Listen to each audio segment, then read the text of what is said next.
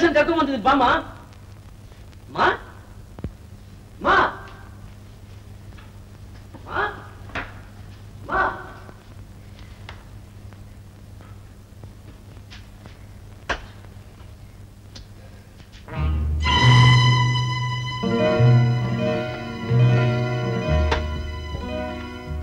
ನೋಡ್ಬೇಕಾ?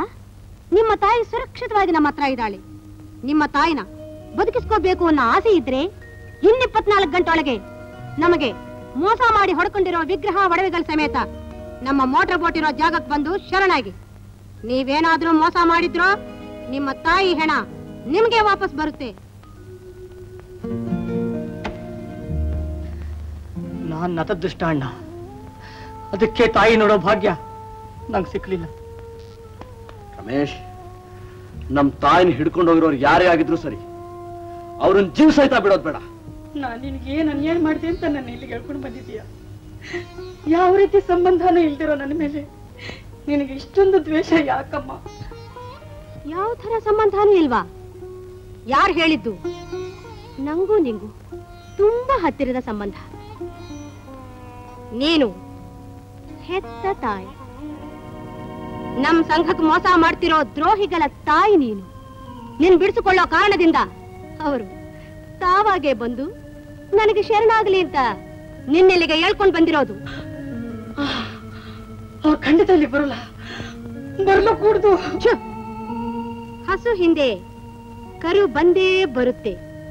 ಆ ಸತ್ಯ ಇನ್ನಿಪ್ಪತ್ನಾಲ್ಕು ಗಂಟೆ ಒಳಗೆ ನಿಂಗೆ ಗೊತ್ತಾಗುತ್ತೆ.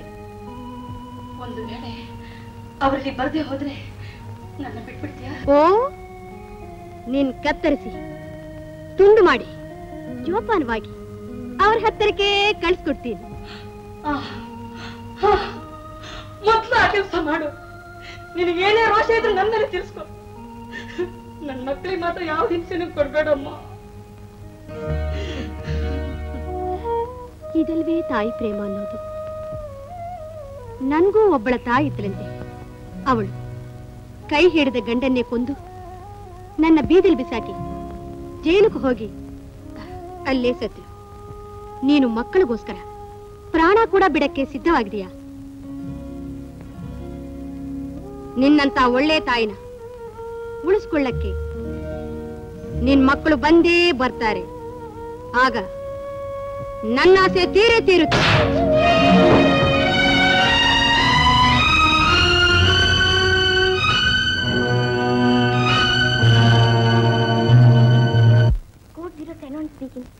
ನಾವು ಮಲ್ಪೆ ಹತ್ರ ಹೋಗ್ತಾ ಇದ್ದೀವಿ. ಪೊಲೀಸ್ ಗಾರ್ಡ್ನ ಇಮಿಡಿಯೇಟ್ ಆಗಿ ಕಳಿಸಿ. Okay you can proceed